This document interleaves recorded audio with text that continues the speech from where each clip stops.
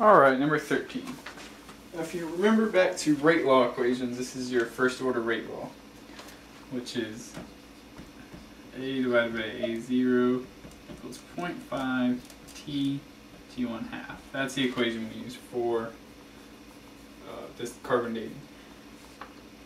A piece of wood has only 10% of its original C14. What is its age? Note that half of the life, the half-life of C14 is 5,700 years.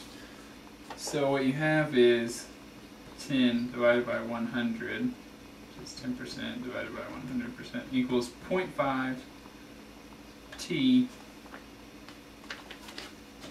divided by 5, 700. Um, let's see, so this is going to be 0.10 equals 0.5 t 5, 700. Now to bring this down, because this is an exponent, to bring this down you have to take the log of both sides. So you're going to take the log of this, log or natural log, doesn't matter, and the log of this. So you have 0.10 log divided by 0.5 log multiplied by 5 700. Because when you take the log of this, it brings this exponent down to just a normal fraction. Equals time. And what you should get for that answer is